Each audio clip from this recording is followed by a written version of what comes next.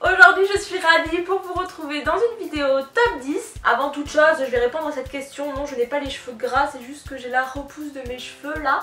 Et en plus de ça je ne les ai pas jaunes c'est juste qu'avec les lumières de Noël et tout ça Voilà ça donne un effet jaune. Et aussi parce que mon blanc oui ressort Ce petit con voilà, ne vous inquiétez pas, tout va bien. Et j'essaie de garder ma couleur naturelle, de laisser me pousser mes cheveux pour avoir ma couleur naturelle. Bref, on s'en bat les. Je vous ai proposé sur Twitter de faire un top 10 et euh, vous m'avez sorti des choses euh, ex aequo. Du coup, j'ai décidé de pas faire ce que vous avais proposé, mais de faire un top 10 sur l'amour. Il faut savoir que quand on est amoureux, on a nos cœurs qui se synchronisent. Mais non, pas comme votre PC, votre iPhone.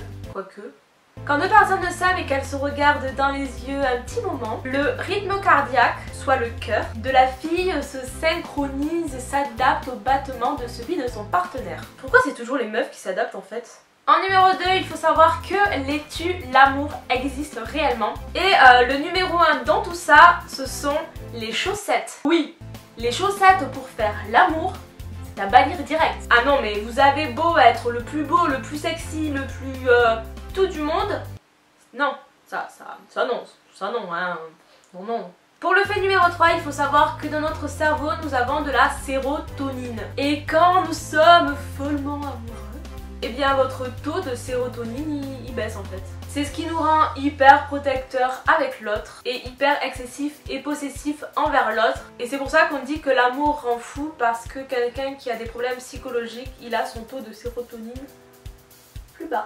En numéro 4, quand nous sommes amoureux, on produit aussi de la dopamine. C'est un petit peu la même chose que quand on prend de la cocaïne, qu'on fume, ou etc. Quoi. En gros, on devient addict et accro au plaisir que cela nous procure. Donc voilà, en gros, on est accro à la coque, comme on est accro à la cigarette, comme on est accro à la personne qu'on aime en fait. Bah du coup, arrêtez la drogue, tomber amoureux, ça coûtera moins cher. Ouais bon ok, c'est quand même moins facile à trouver. En numéro 5, fait tout mignon. Quand vous allez pas bien, un câlin de lettres aimées fait la même chose que les antidépresseurs et les antidouleurs. Le point numéro 6, le sexe et l'amour rend hyper créatif. Ah, je comprends mieux pourquoi je, suis aussi peu créative en fait. En 7, la philophobie et la peur de tomber amoureux. Si si si, je vous promets ça existe. Après il y a aussi la peur de la philosophie mais ça c'est notre débat. Le fait numéro 8, c'est un fait assez surprenant. Il faut savoir que 23% des couples qui se sont rencontrés sur un site de rencontre on finit par se marier. Ok, maintenant j'arrêterai de critiquer les sites de rencontres. Quoique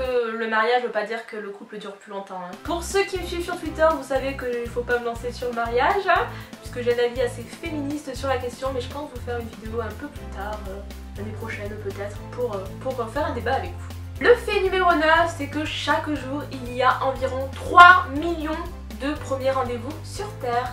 Si t'es là, c'est que toi, t'es pas en premier rendez-vous aujourd'hui. Hein. Après, si tu veux des conseils pour les premiers rendez-vous, j'ai fait une vidéo là-dessus.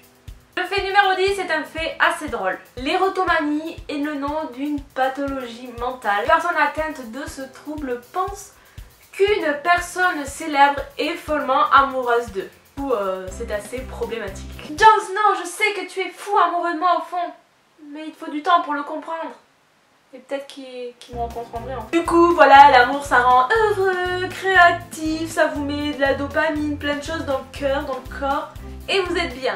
Sauf que bon, être amoureux, ça vous met dans un état d'euphorie totale, ça euh, vous rend heureux, épanoui, mais on, on en parle des ruptures Et voilà, j'espère que cette vidéo vous aura plu, j'espère que le nouveau format de mes vidéos vous plaise aussi. Euh, je vous avoue que j'adore, euh, comme ça moi. Et merci, vous êtes bientôt 200 000, là on est très très proche. Donc voilà, n'hésitez pas à liker, à partager, à faire du ukulélé, à faire ce que vous voulez.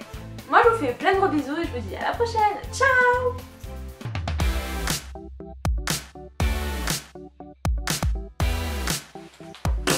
D'ailleurs c'était trop triste, il y a les petits pompiers qui sont venus je crois pour le papy.